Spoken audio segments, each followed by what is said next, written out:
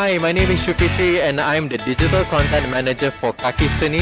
So at Kakiseni, we're all about sharing the love for the arts. We want to make the arts accessible for everyone, especially the younger people. Dance, music, musical theatre, fiction drama. Hi, I'm Tracy Chan and I'm the coordinator of Star Youth Job Training Center.